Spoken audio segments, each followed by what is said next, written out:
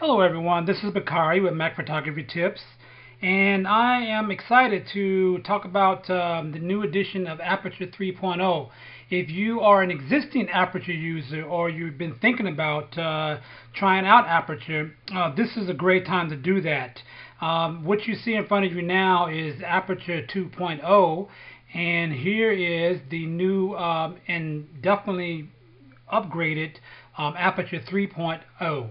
And what I thought I would do in this um, in this video is kind of share a series of tips that um, that are not talked about too much in on the aperture I mean on the, on the Apple site itself about aperture 3.0 if you go and click up here on uh, help in aperture 3.0 and you click on uh, welcome to aperture it will bring up a series of really great, uh, highly professional videos that expose you to the uh, main, some of the main features, new and old features of Aperture.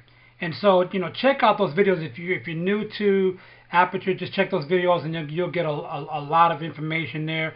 And also, I'm going to put a link into um, uh, into this uh, video that would also show you another um, website page on on app on apple.com in which it breaks down many of the 200 plus features um, that I'm going to talk about today. I'm not going to talk about 200, but I'm going to point out just some just some really kind of quick features that I've noticed already and I like, and I'm going to just quickly show them to you because I think you know showing things in video is a lot quicker to to, to um, learn than just reading um, you know reading text. So basically what I'm going to do is kind of go through, I don't know, maybe 7, 8, 10 uh, little tips that, um, that I like. Okay, so first off, let's talk about um, full screen mode, some of the new features in Aperture 3.0. If you are not working with a large screen, like some one of those 27 inch um, iMac screens, and you have, you know, you're working, say, maybe on a laptop or a smaller screen, full screen mode is a great um, way to work with images sometimes. And so, first off, one of the new features is that you can get um, the uh, you can browse um, photos or browse images in full screen mode. So here we're in the browser mode here, and click on the um, the F key. Oops, sorry. All right, and you see we have browser mode here um, that way. So this is a great way, and you can like in uh, in the browser mode, you can move pictures around. And then, of course, when you're working in the uh, working with one image, click on that there. And so you have your large image and you want to bring up your adjustment HUD or panel, spectrum panel. And what you can do is you notice that when I did that, um, it parked itself on the side of the screen. And basically all you have to do in order for that to happen is that you can keep it floating if you want, or you can click this little button here and it will lock it to the side of the screen there so you don't have to always keep moving it around. And the same thing, you can also click here and it says always show toolbar this right here will get rid of the, you know, we can bring the toolbar back and forth here as well. So if you don't want to always stick there, you know, this is just a, a nice way of getting more screen real estate. So that's the, some of the new features in full screen mode. Okay, the next tip is dealing with uh, importing photos. There's a lot of new uh, features in uh, Aperture 3.0 for importing photos. And so, so let's pull this up. I'll pull up some files from my existing, uh, some pictures on my hard drive already. Um, so here, if you look at, uh, you get a lot of good options here. Basically, one, you can, you know, check or uncheck all the photos that exist that you're about ready to import in. So it will only import in images that you have checked here as well. Uh, that for one. Two is that you can create over here. Notice you can create a project folder right here instead of having to go into the um, Aperture Library pane, if you will, to create a project first. You can create a, a new project right here. So that's really a time saver as well. Um, we go down, you can, of course, you can always do your um, presets of metadata presets, which I have a few already here, and you can create those. So, so that's pretty much like the Aperture 2.0. And but the one thing that's really nice is that now, and we're going to talk about the presets. If you probably no doubt heard about the presets already, you can apply presets to photos as you import them. So that's really going to be a nice time saver.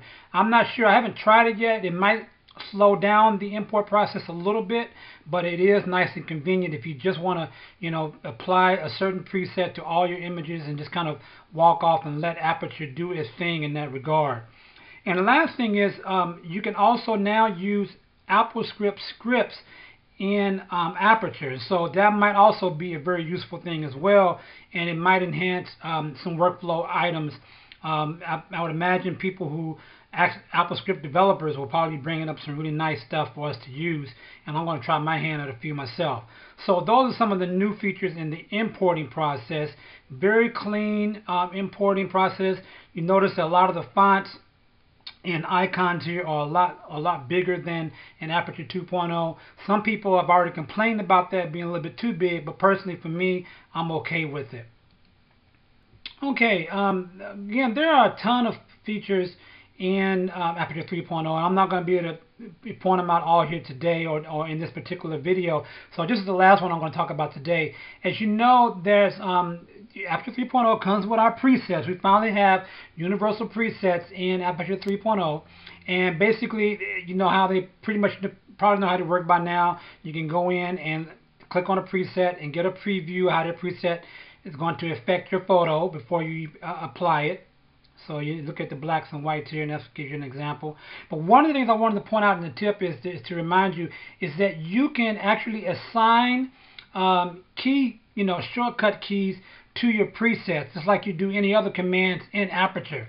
and all you have to do is go up to um, Aperture Commands, Customize, and what it will do when you do that, it, it's going to make, it's going to save your default um, commands, and then you go into it, and then you click on um, adjustment presets, and it'll bring up all the existing presets that you have, and you click on one, and you can uh, create a um, a shortcut uh, key for it. So you know, you just say, for example, we know option um, option C, or let's say option C is already taken here. Let's just do option command C, just for the sake of this uh, video here. But that's all you got to do there, and then you just save it. And so then, you know, as you begin to get familiar with the um, presets that you use most often, you definitely want to create uh, shortcut keys for that. So that's it uh, for this particular video and I'm going to do another one to also share some other um, uh, tips that um, I'm discovering as I start working in Aperture 3.0. I'm very excited about the program. I think it's, it's just really a lot better, um, a lot cleaner, and um, I think it, it, almost surpasses uh, Adobe Lightroom. So um, if, if you haven't thought, if you're thinking about doing Aperture 3.0, I, I definitely highly recommend it. This is Bakari with Mac Photography Tips.